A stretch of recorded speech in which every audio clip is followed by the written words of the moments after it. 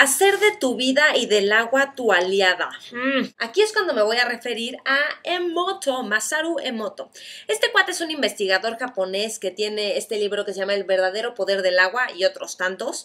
Y lo que él hace es experimentos con el agua. Le toma fotografías a los cristales del agua y voilà los resultados. Pero ¿qué es lo que hace? Tiene diferentes frascos. Entonces a unos frascos los impregna de palabras de amor, le pone una etiqueta de amor. A otro le pone música clásica. A otro lo impregna con una intención de armonía, incluso le pone una etiqueta de armonía. Y a otros les pone palabras como cáncer, odio y heavy metal.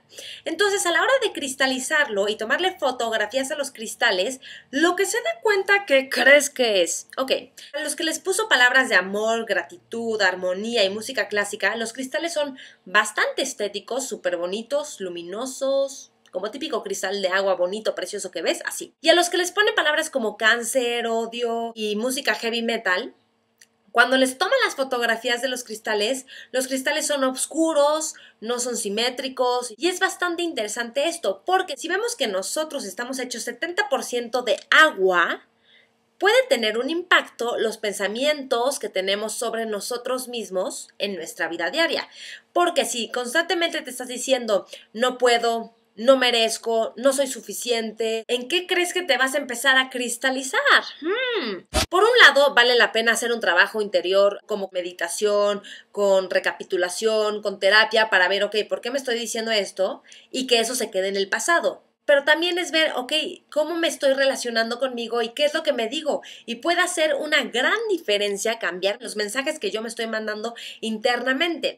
Hay muchísimas cosas que decir de este libro que está bastante interesante. Por ejemplo, que las enfermedades emiten ciertas ondas y ellos crearon un aparato que emite también ondas. Entonces emiten las ondas necesarias para contrarrestar las ondas que emite la enfermedad de la persona y han curado a muchísimas personas con enfermedades muy cañonas. Eh, podemos regresar al tema. O sea, lo que este cuate hace es un vaso de agua en la mañana, lo empieza a impregnar de gracias, hoy será un día agradable. Gracias, hoy será un día agradable. Un ratito, después se toma medio vaso y a la otra mitad le dice gracias, todo salió bien. Gracias, todo salió bien y se lo toma.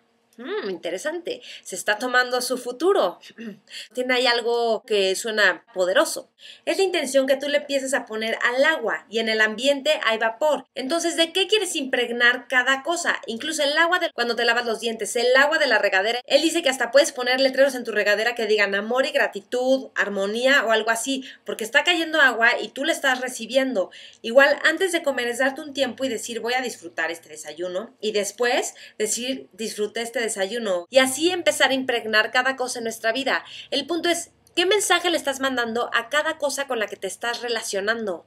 Es súper poderoso verlo, porque puedes decir, ay, bájale, qué flojera. No, es que el mensaje que mandas, el mensaje que estás emanando es cómo te estás relacionando con la vida y con las cosas. Incluso hasta las mismas conversaciones. Puedes empezar a cambiar tus conversaciones de crítica por conversaciones de reconocimiento, de proponer, de valorar, que tengo videos de eso también. Pero la propuesta final es, ¿cuál es la intención que vas a impregnar en ti diariamente, en cada cosa que te tomas? ¿Y cuál es la intención que vas a impregnar en cada lugar en el que estás? Donde estés, en el trabajo, con tu familia, en el tráfico. Lo importante es cambiar cómo te estás relacionando con cada momento. ¿Qué es lo que tú estás proveyendo? ¿Cuál es la intención y cómo te estás relacionando? Con cada cosa en la vida.